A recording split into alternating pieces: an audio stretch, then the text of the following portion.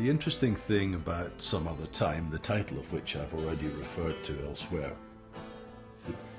the interesting thing was that we tried two different kinds of vocal on it. Uh, one was an artist that I'd heard uh, in cabaret called Peter Straker, who was uh, an electrifying performer to see live. And we got Peter in, and he, he tried uh, a vocal, which worked in certain bits and didn't work in others. It was one of the problems that you often had in the studio because we recorded the the backings often without any idea of who was going to sing it. We had to take a guess at what the proper key would be, and it didn't always work.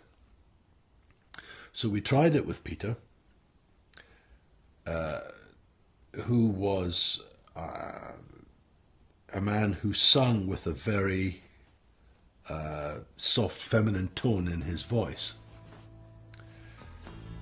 And so then we thought, well, if this hasn't quite worked, what should we do? And uh, I remembered uh, a singer that I had uh, met some time before called Jaki Whitren, who was almost the exact opposite, who, who, was, who was a girl who sung with tones which were actually very uh, bassy and masculine uh, in terms of the delivery. And so we tried it with Jaki, and then we realized that uh, if we used the same problem, uh, some bits of the song were good, uh, some, some didn't work.